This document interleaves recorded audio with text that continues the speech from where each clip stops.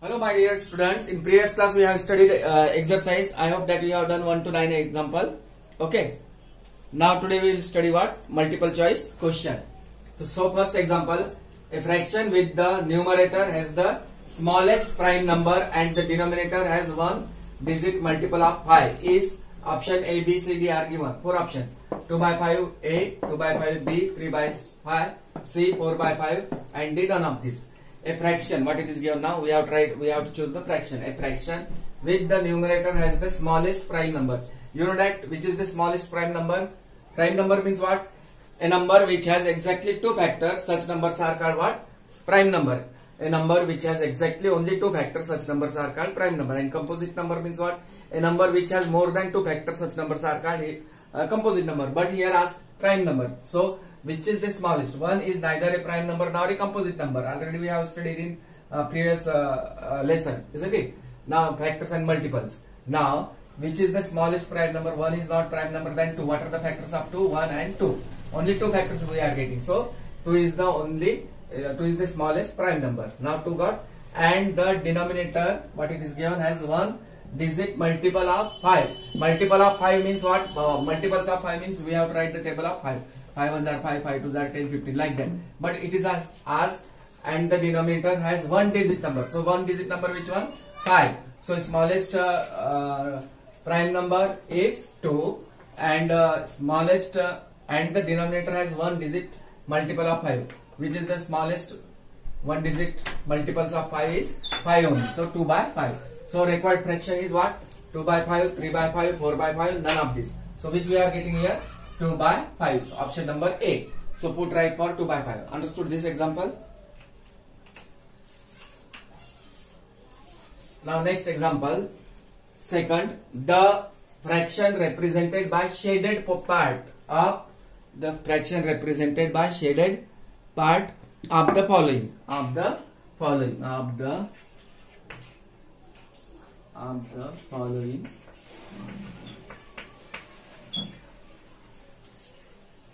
Wait. second second example. The fraction represented by shaded part of only up to there only. Of the following okay. Now here given. How many equal parts looked at? Up.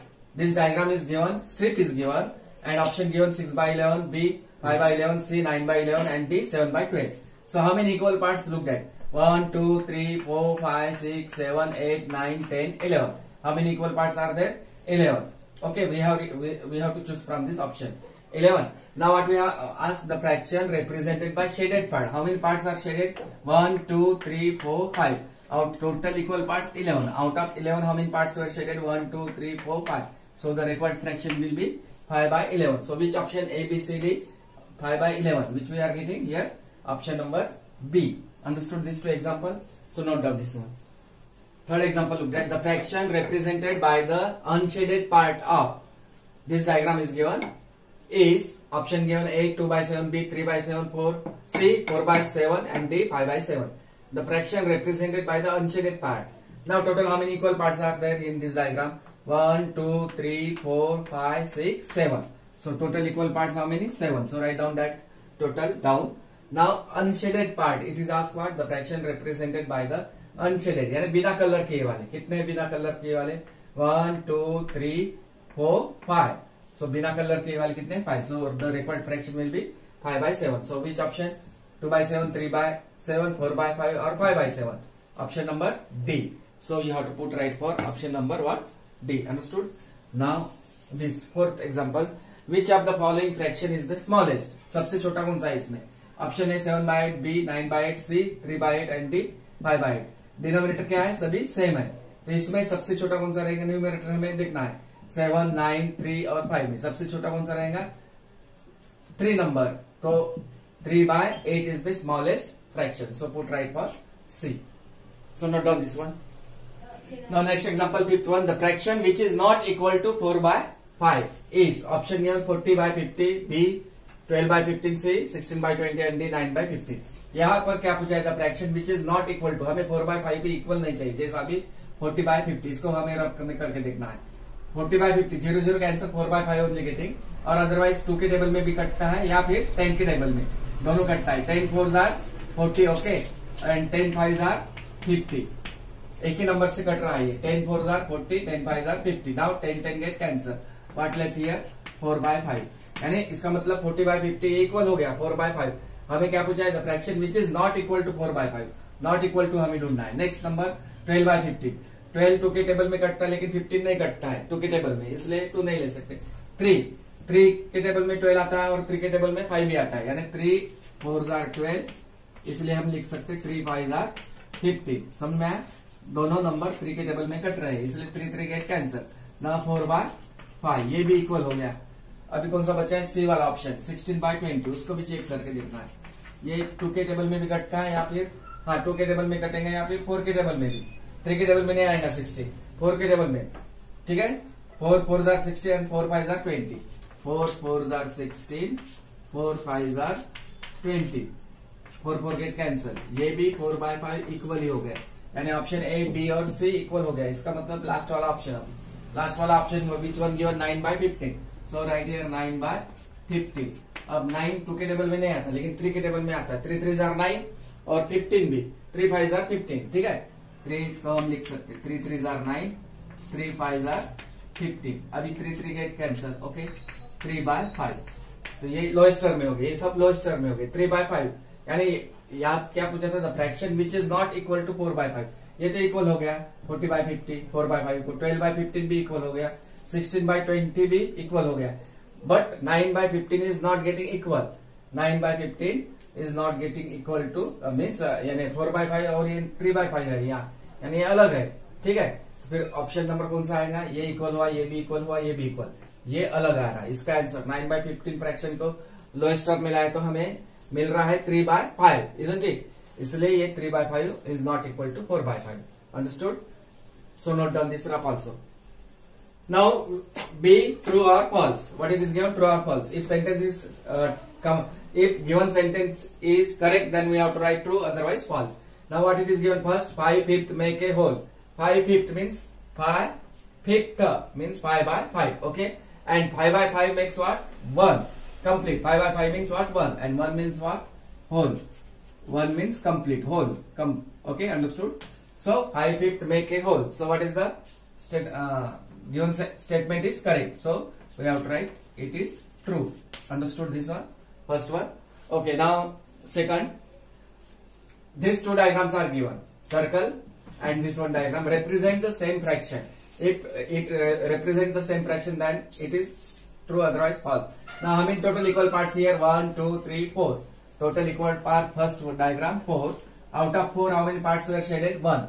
So the required fraction will be 1 by 4 now in this diagram how many equal parts 1 2 3 so we have to write that 3 down and out of 3 how many parts were shaded 1 so 1 by 4 and 1 the fraction 1 by 4 and the fraction 1 by 3 both are same or different both are different isn't it 1 by 4 और 1 by 3 कैसे same हो सकते अलग अलग है इसलिए this this this diagram and this diagram represent the same fraction it is not representing representing the same fraction but different fraction so it is false. So what we have to write here?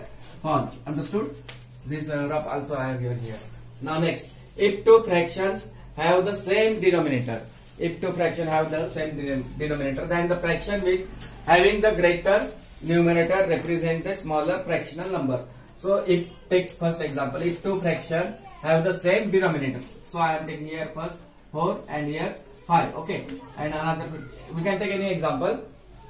If two fraction have the same denominator denominator will be same now i am taking here 3 so the two fraction i have took here 5 by 4 and 3 by 4 if two fraction have the same denominator okay then the fraction with having the greater numerator now here denominator is same then what we have to if how to compare that one we have to observe only numerator. Here 5 and here 3. 5 is greater than what? 3. So which fraction is greater? 4 by 5 is greater than 3 by 4. Okay, up to here. If two fraction have the same denominator, we have to here 5 by 4 and 4 by 3 by 4. Denominator is same. Up to here over. Then the fraction with having the greater numerator. Here greater numerator is which one? 5. Represent the smaller fraction. ये कैसा smaller आएगा? जो बड़ा है numerator में वही बड़ा रहेगा इसका मतलब five by four is greater than three by four जो नंबर बड़ा रहेगा न्यूमरेटर में वो बड़ा रहेगा फ्रैक्शन लेकिन यहाँ पर दिया having the greater numerator represent the smaller fraction smaller fraction नहीं हो सकता ना इसलिए this statement is what false this this is what false so we have to write false यानी जो न्यूमरेटर अगर डिनोमिनेटर सेम रहता है तो हमें न्यूमरेटर देखना पड़ता है न्यूमरेटर न्यूमरेटर में जो नंबर बड़ा रहेगा, वो फ्रैक्शन बड़ा रहेगा उसमें। समझ में आया so note down this one Fourth example looked at equivalent fraction of a fractions are formed by multiplying or dividing the numerator and the denominator by the same number other than 1 and 0. How, tell me how to up an equivalent fraction, how it can be obtained an equivalent fraction of, of a fraction can, uh, can be obtained by multiplying or dividing the numerator and the denominator by the same number. Isn't it? Other than 1 and 0. We are, we are not taking that 0. If we are multiplying by 0 then completely answer we will get 0 only. Other than 1 as well as 0 also. Yes, equivalent fraction of a fraction can be obtained or can be formed are formed by multiplying or dividing the numerator and the denominator by the same number. So this statement is what? True. So we have to write here what? True. Now next uh, fifth one. Fractions represented by the adjoining figure are equivalent. Now here diagram are given. A and B. Two diagrams. How many equal parts? 1, 2, 3, 4, 5. 5 equal parts. Figure A, 5 equal parts. Okay. Out of 5, how many parts were shaded? 1, 2, 3. So the required fraction is 3 by 5. Figure A. Now figure B. Figure B, what it is that? Or here, here we can write that one. Figure A. Figure A. Fraction is what? Friction uh, 1 2 3 4 5 out of 5 how many equal parts were shaded? 3 so the 3 by 5 now figure b. Now figure b. Figure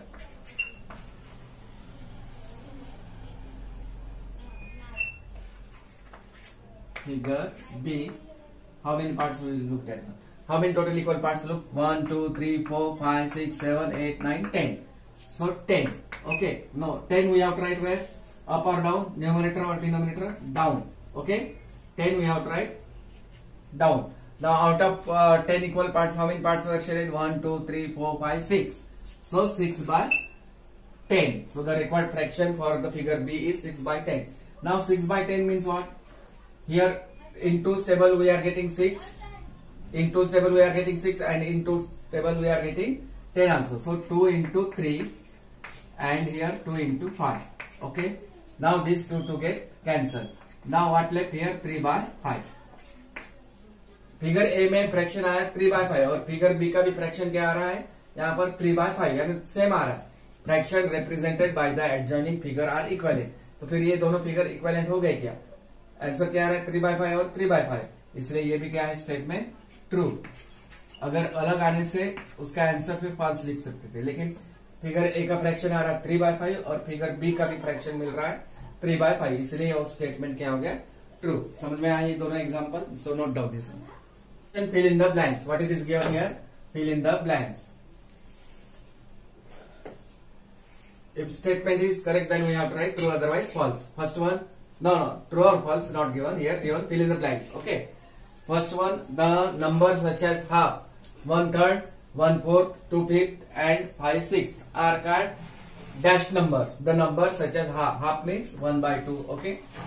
One third means one by three, comma one fourth means 1 by 4 okay 2 fifth means 2 by 5 comma 5 and 5 sixth means 5 by 6 such numbers are called what which numbers are called dash number such numbers are called fractional number are called what fractional numbers fractional what numbers these numbers are called fractional number already we have studied 1 by 2, 1 by 3, such numbers are called which number? Fractional number. Understood? Now second, while writing a fraction, the bar drawn in between the numerator and the denominator is called dash. For example, here 3 by 5.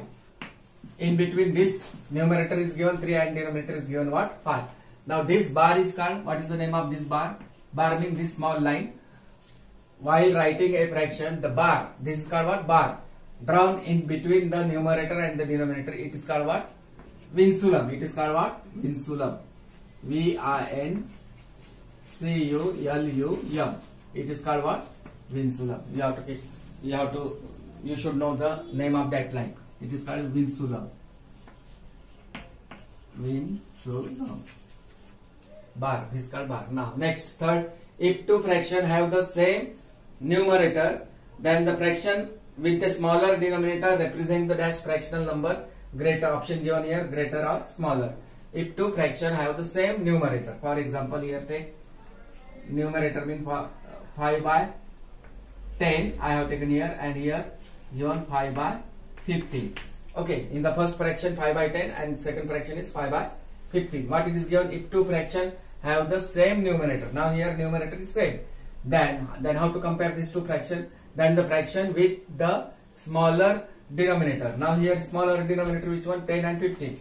10 is smaller but then the fraction what is here so then the fraction with the smaller denominator represent the dash fractional number.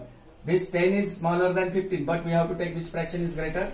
This 10 is greater than 15 so 5 by 10 is greater than the fraction 5 by 12. We have write this we have to choose as a greater fraction with the smaller denominator over represent the dash fractional number. Again one time I am repeating. If two fraction have the same numerator, for example this one 5 by 10 and 5 by 15. 5 by numerator is same. Over up to now here. Then the fraction with the smaller denominator. Smaller denominator which one here 10 and 15? 10. 10 is okay. Smaller denominator represent the dash fraction. What we have write here? Greater or smaller? Greater. What we have to write? We have to take because 5 by 10 is greater than 5 by 15. So here greater. It will come here what? Greater. Understood? Now last one. If two fractions are equivalent. If two fractions are equivalent. For example here 2 by 5. 2 by if two fractions are equivalent their cross product are dash two fractions are equivalent then their cross products are also what? Equal only. Are also what? Equal. अगर cross multiplication equal होता है तो फिर वो दोनों fraction क्या हो जाते हैं? इक्वेलेंट एग्ज़ाम्पल वैसे बहुत सारे हैं। For example we can take that one two by five fraction two by five और इधर लिया मैंने four by ten four by क्या? टेन ठीक है? अभी देखो, इनका क्रॉस मल्टीप्लीकेशन करने से क्या आता? Two into ten. यहाँ पे और यहाँ पर फाइव इंटू फोर। इधर आएगा फाइव इंटू फोर, ठीक है? अब टू टेन जार ट्वेंटी, ठीक है? फाइव फोर जार ट्वेंटी। यानी इसका मतलब जब ये क्रॉस प्रोडक्ट इक्वल हो जाता है, ट्वेंटी ट्वेंटी आया तो उनका ये ये दोनों फ्रैक्शन क्या हो जाते हैं? टू बाय फाइव और four by ten, equivalent fraction. ये क्या हो जाएँगे फिर? Equivalent fraction. इसलिए if two fraction are equivalent, their cross products are also what equal. Understood? So some examples are also I have given here. So note down this one. Now D question match the following. Match the columns or otherwise match the following. Okay. The column first one given column first and here column second. First five options are there. Means um, five questions are there and here A B C D E F. Here six given total. So one option is extra. Okay. By first one one by two comma one by seven comma one by five comma one by three. Second question 7 by 5 comma 9 by 3 comma 5, 8 by 5 comma 10 by 7. Third 4 by 7 comma 5 by 7 comma 11 by 7 comma 10 by 7. And fourth one 1 2 by 3 comma 2 4 by 5 comma 4 1 by 7 comma 6 2 by 3. And last one 2 by 7 comma 5 by 9 comma 6 by 11 comma 4 by 13. And here given column second A proper fraction but not unit fraction. B mixed fraction. C improper fraction, D unit fraction or E like fraction, even given like fraction and F unlike fraction. So we have to match the following. We have to put a correct option here. यहाँ पर आगे पीछे दिया है हमें इसका correct answer को match करना है जैसा अभी one by two comma one by seven comma one by five comma one by three numerator में क्या है यहाँ पर? वन वन वन सभी इसमें, सभी फ्रैक्शन में। इसलिए ये ये फ्रैक्शन कौन सा हो गया हमें? ये फ्रैक्शन बनेगा one by two comma one by three one by seven comma one by five comma one by three कौन सा आएगा इसमें? डी यूनिट फ्रैक्शन क्योंकि न्यूमरेटर में क्या है यहाँ पर? वन इसलिए इसका ऑप्शन रहेगा डी कौन सा है? ए का। मैच द फॉलोइंग ऐसे भी कर सकते तुम। डी यूनिट फ्रैक्शन अगर चाहिए तो। या फिर यहाँ पर डी बी लिख सकते। तो क्यू यूनिट क्योंकि यहाँ पर न्यूमरेटर में क्या है? वन है, इसलिए। समझ में आया। First one is called what unit fraction second now seven by five comma nine by three comma eight by five comma ten by seven अब देखो, यहाँ पर न्यूमरेटर में क्या है? सेवन और डिनोमिनेटर फाइव हर एक इसमें देखेंगे। न्यूमरेटर में सेवन सेवन क्या है? बड़ा है। और डिनोमीटर छोटा है, यहाँ पर भी न्यूमिनेटर बड़ा है डिनोमीटर छोटा यहाँ न्यूमीटर बड़ा है एट बाय फाइव में डिनोमीटर छोटा यानी सभी चारों, यहाँ टेन बड़ा है और सेवन छोटा है। तो इसका मतलब क्या है? न्यूमिनेटर वाला नंबर बड़ा है यहाँ पर। Numerator is getting what greater than N mean numerator and D mean denominator a fraction in which numerator is greater than the denominator are called what which fraction a fraction in which numerator is greater than the denominator are called what which fraction improper fraction पहले भी बताया था definition दिया था। A fraction in which numerator is greater than the denominator are what improper fraction so improper C इसका option क्या आएगा? C समझ में आया? Now third one four by seven comma five by seven comma eleven by seven comma ten by seven ten by seven third one okay.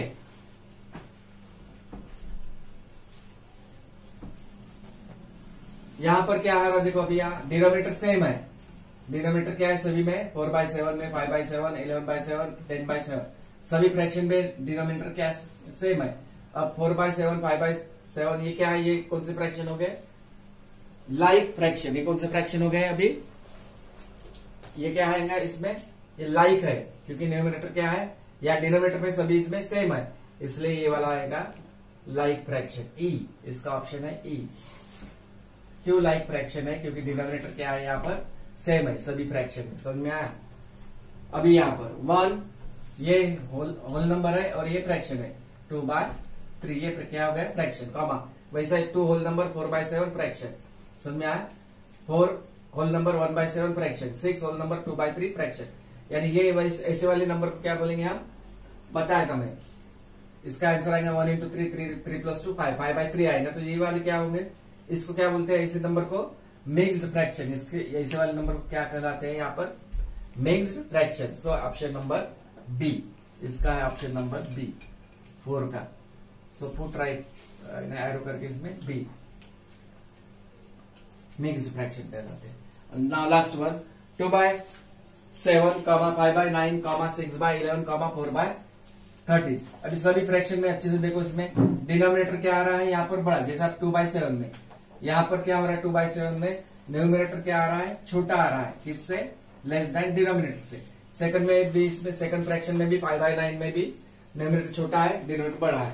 Third fraction six by eleven में six छोटा छोटा है eleven बड़ा है। उसी ढंग से last fraction four by thirteen में न्यूमिनेटर छोटा है और डिनोमिनेटर बड़ा है। A fraction in which numerator is less than the denominator such type of fraction are called what which fraction proper fraction but not unit fraction ये क्या है यहाँ पर?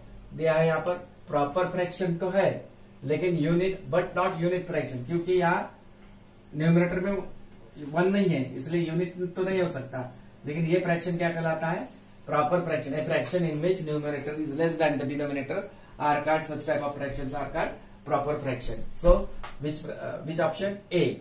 Here option number A, last one. इसको बराबर match करो इसमें ठीक है इसका आंसर ए लास्ट वाले का। ठीक है? फिफ्थ का। आंसर क्या है? ए सो अंडरस्टूड पहले का है आंसर कौन सा है इसका? डी ठीक है? सेकंड का है सी और थर्ड का क्या आ रहा है? E e. फोर्थ वाले का आंसर है बी और फिफ्थ का आंसर है A understood so note down this one first question look that value based question E value based what question question is little big so we have to understand what it is given. Look that. Summer vacations were about begin. The teacher taught the students that it was important to value time and that they and that they should use each hour productively. She suggested that in the vacation they make a timetable, follow it and ensure that they do not waste time. The teacher, here the teacher, the, the T capital, the teacher further suggested that they should spend at least they should spend at least 1 by 6 this is 1 by 6 1 by 6 you can write 1 by what? 6 like this also. Fraction given. 1 by 6 of the day and doing their homework and other learning activity. 1 by 3rd in sleeping and rest of the time could be used for playing helping elders at home attending hobbies classes etc okay now here three questions were asked how many hours were suggested for doing homework and learning b how many hours were suggested for sleeping and c what value did the teacher want the students to learn through this so this one is given now what it is given now again one time I will explain summer vacation summer vacation मतलब जब गर्मियों के दिनों में हमें क्या लगती है छुट्टी लगती है ना स्कूल फाइनल एग्ज़ाम होने के बाद हमें स्कूल बच्चों को स्कूल में क्या मिलती है? समर वेकेशन हॉलीडेज यानी छुट्टियाँ लगती है धूपकाले की वेर अबाउट बिगिन यानी लगने ही वाली थी, वैसी उस समय the teacher thought the students teacher ने बच्चों को क्या बताया? That that is was it was that is was important to value time the teacher thought the students that it was important to value time यानी हमें समय समय waste, हमें हमें वक्त बर्बाद नहीं करना चाहिए। धूपकाले में छुट्टी लगने से बहुत सारे बच्चे टाइम वेस्ट करते हैं। यानी वैसा नहीं करना है। उसको इम्पोर्टेंट ऑफ़ टाइम को दिया है। मैडम ने बताया है it was important to value time हमें समय का कदर करना चाहिए, ठीक है? And that they should and that they should use each hour each hour यानी एक एक एक एक आवर हमें क्या करना है? मैडम बता रहे हैं, एक एक आवर प्रोडक्टिवली यानी उसको अपने हिसाब से उसका यूज़ करना है। प्रोडक्टिवली का मतलब योग्य हिसाब से, ठीक है? शी सजेस्टेड शी यानी कौन? मैडम ने फिर से क्या बताया है?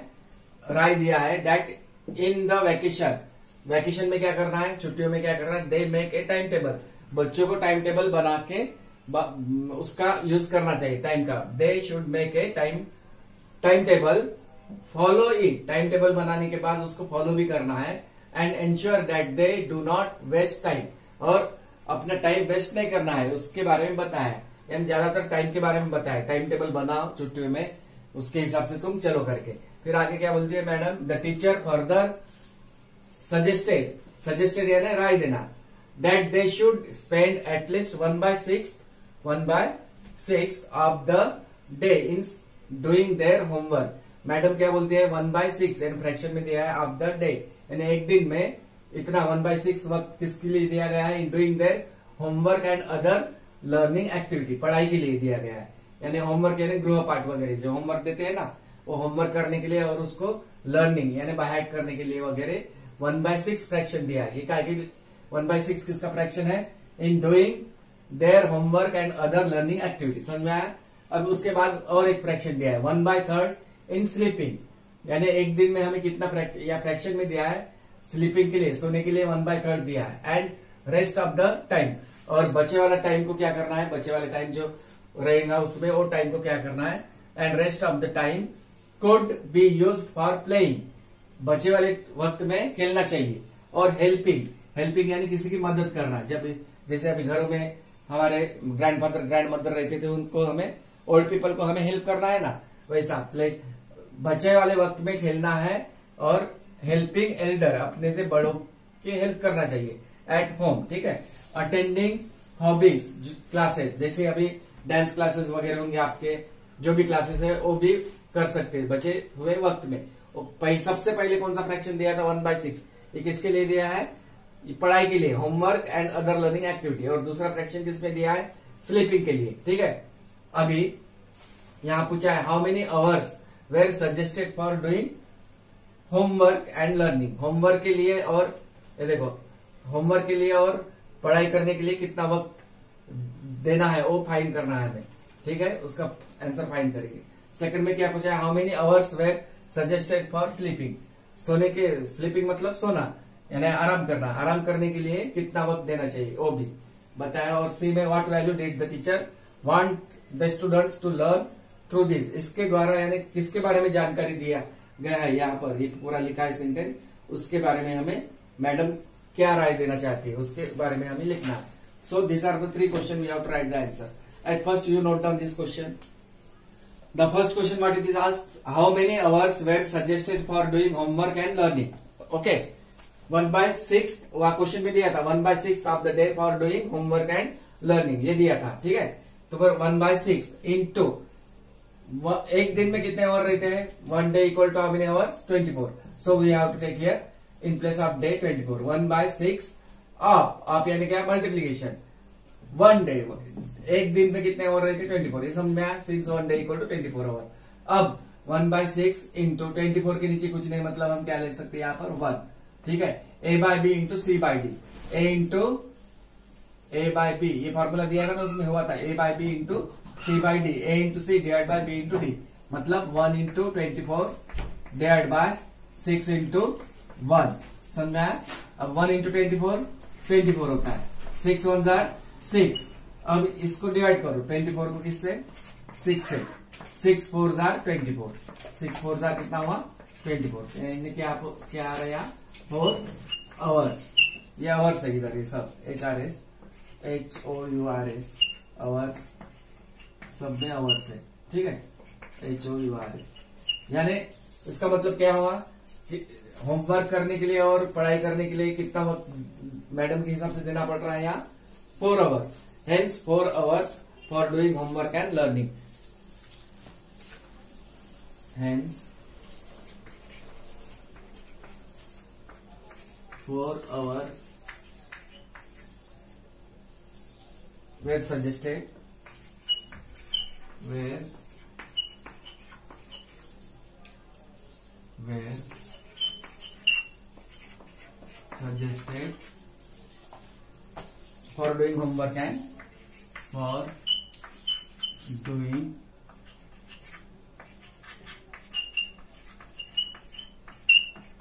homework and learning.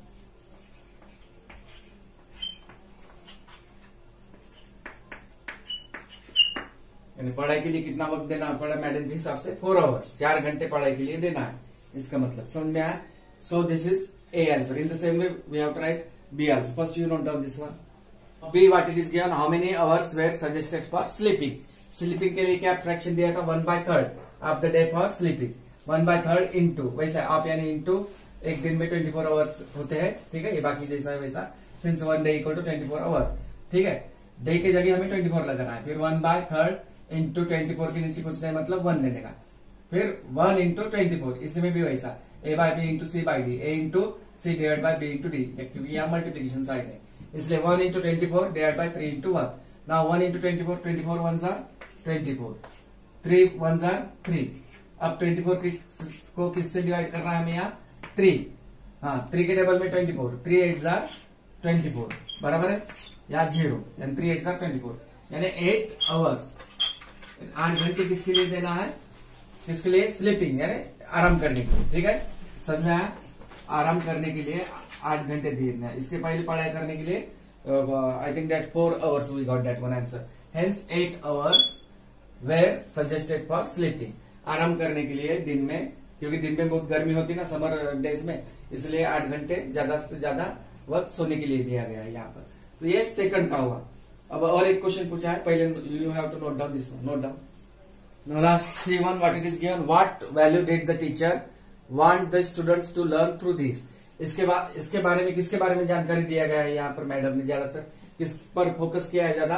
Time management यानी टाइम मैनेजमेंट यानी टाइम टेबल बना के मैडम ने दिया है, इसके हिसाब से तुम्हें पढ़ाई करना है, आराम करना है, और अदर एक्टिविटीज़ भी करना है। और और बाकी लोगों के लिए जो घर में रहते हैं ओल्ड पीपल उनका हेल्प भी करना चाहिए। ये सब कुछ दिया है, ठीक है?